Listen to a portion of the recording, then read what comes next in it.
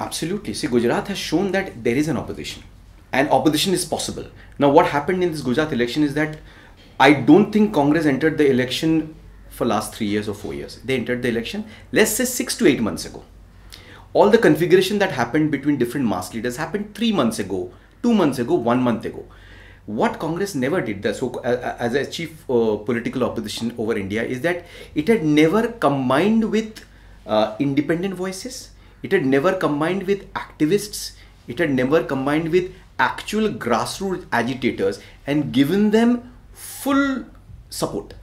It was always Congress first, right? So everybody was actually fighting about seats and arrangements, pre and post alliances, etc., etc., etc. Tactics. All you have to do is pick up those people believe in, create an umbrella sort of a front, and let them let them lead you. Let them lead. Congress need to needs to follow them not lead them. Congress is there, it has always been there, it will be there. But Congress needs to be led by people who are working at the grassroots.